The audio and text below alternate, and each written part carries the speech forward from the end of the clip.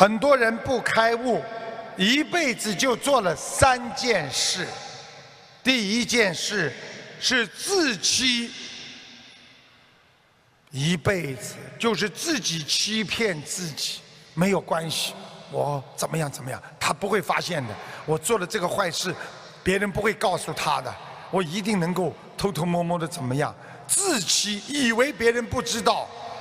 一生做三件事，这是第一件事，叫自欺。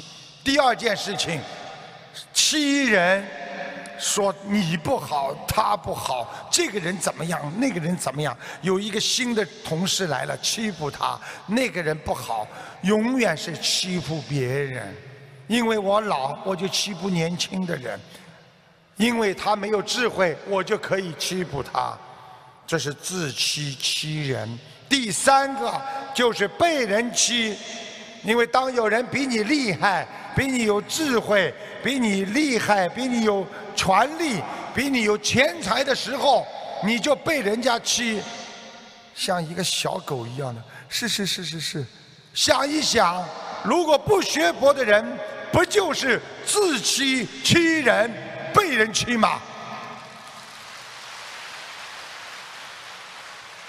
要抛弃一切执着，不要怨天怨地、怨天尤人。在这个世界上，一切都不是你的，用不着你说我要抛弃世界。我一定要懂得，世界万物只能为我所用，并不有不能为我所有啊。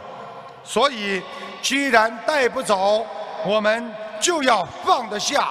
既然知道所有的一切，我们终有一天会放下。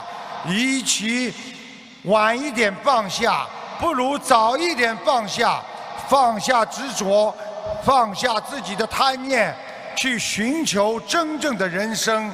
放弃过去，那会拥有未来。